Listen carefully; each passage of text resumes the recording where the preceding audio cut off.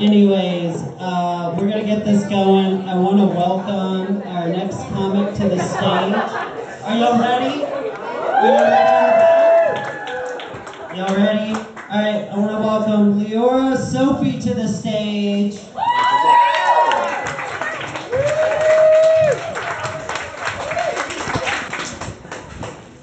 Okay. Um, so I'm a nerd. Is anyone else a nerd? Yeah, it didn't used to sound like that when we were growing up. but it does now, which is really awesome. Yeah. So um, I have a I have a bachelor's degree in mathematics. yeah, that did not sound like that we were growing up either. Okay. But um, yeah, it, it's it's that's cool. That's not usually the reaction I get it's usually like, oh my god, I hated math class.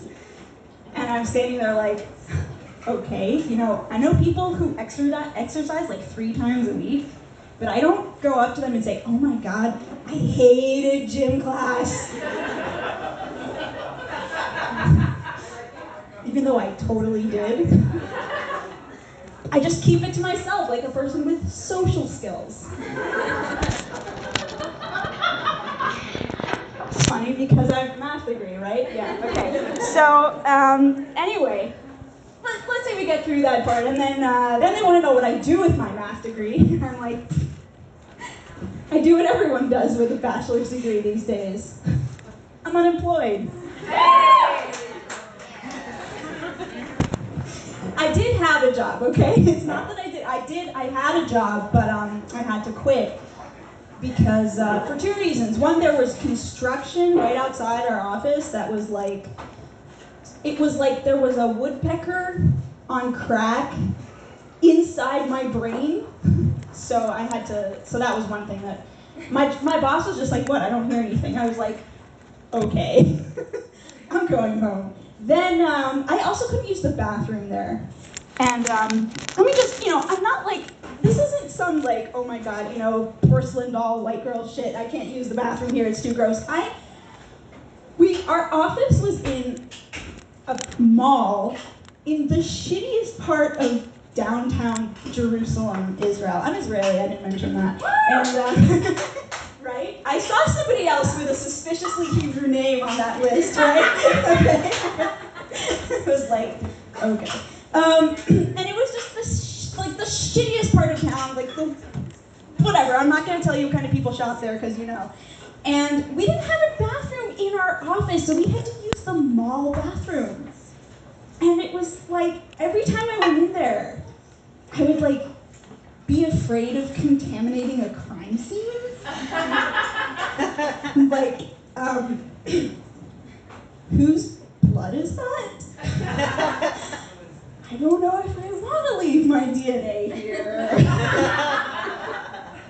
so I complained to my boss and I said, look, you know, this is really unbearable. And he's like, okay, well, we complained to the mall management, and the mall management said, all right, you know, we'll see what we can do. Um, here's what you're gonna do. This is the person who's in charge. Uh, his, name, his name is whatever. He's the head of security. Every time you go and the bathroom's not clean, call this guy and he'll clean it up. Okay. So what? Now every time I go to the bathroom, I gotta stand up in the middle of my office and be like, "Call security! I'm going to the bathroom." I was uh, I was telling a friend of mine about this, and he said, "Liora, the only time I've ever heard of having to call security when you go to the bathroom is when I was in jail."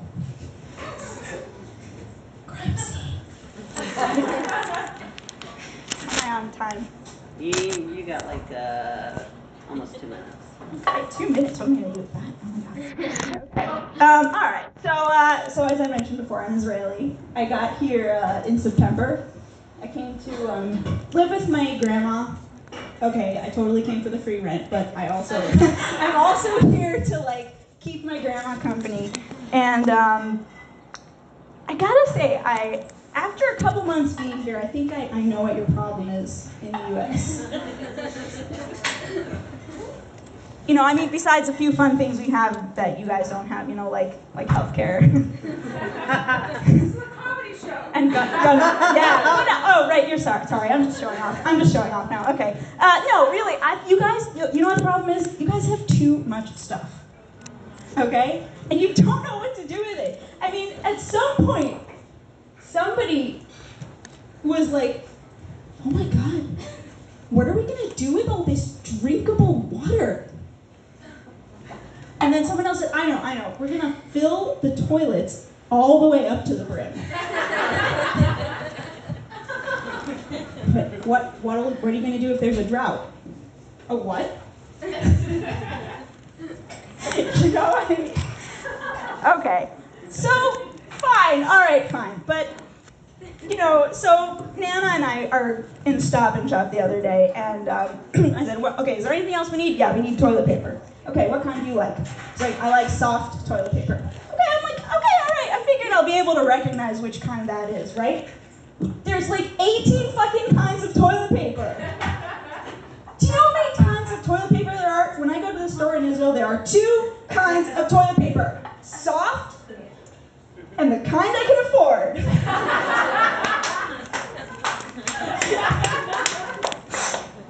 Which is really like an improved sort of sandpaper. Um, yeah, so, um, oh, I want to try something out on you really quick, okay? My mom said that people who have never shopped in Israel are not going to find this funny, but I want to try it out on you. Can I take? Can you? Will you take that risk? It might not be funny. Yeah. Okay. So this is more about being at Stop and Shop. I'm, I'm, I'm dead fucking serious, okay? First of all, maybe you'll be able to gather a little bit from my reaction what it's like to shop at a supermarket in Israel, okay? So first thing that happens, I walk into the store and I take a cart and, and I pushed it and it just went. what the fuck is that? I didn't have to wrestle with it. Back home, when I if I want to turn down an aisle, and I do a fucking ab workout. Every, like put on my fucking turn signal. So then, you know, and we already talked about how many different options there are. I just get decision burnout from every single element on my list. Like tomatoes. Well, which fucking kind of tomatoes? And uh, like red tomatoes. Oh no, there's like eight different kinds of red tomatoes. Oh my god. Okay, so fine. Let's moving right along, right? Um, oh, and I was looking for for um, peppermint bark. And I figured that would be in the candy aisle, right? Not only is there an entire aisle devoted to candy, the peppermint bark wasn't there because it was in the holiday candy aisle, which is four times the size of the regular candy aisle. and it's holiday because it's peppermint.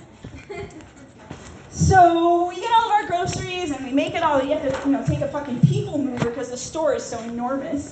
And then we get to the cash register and I'm loading my stuff onto the conveyor belt, and um, the customer behind me is just like patiently waiting their turn.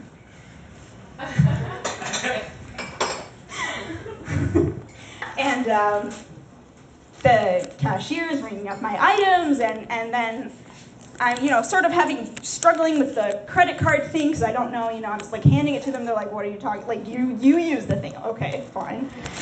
You know, um, and then um, the cashier starts bagging my groceries for me. Okay, that was interesting. At this point, I was pretty confused. Sorry, I'm, I'm getting off. I'm getting off. One, one last thing, okay? I'm getting, and then, so the cashier hands me my bag of groceries and says, "Have a nice day, ma'am." and I'm just like, "What the fuck just happened here?" Thank you very much. We are everybody.